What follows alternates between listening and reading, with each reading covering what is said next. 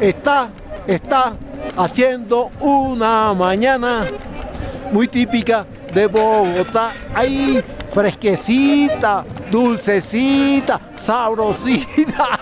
Anda, esto está sabroso. Y además están cayendo unas gotas casi imperceptibles del cielo, del cielo, del cielo, del cielo.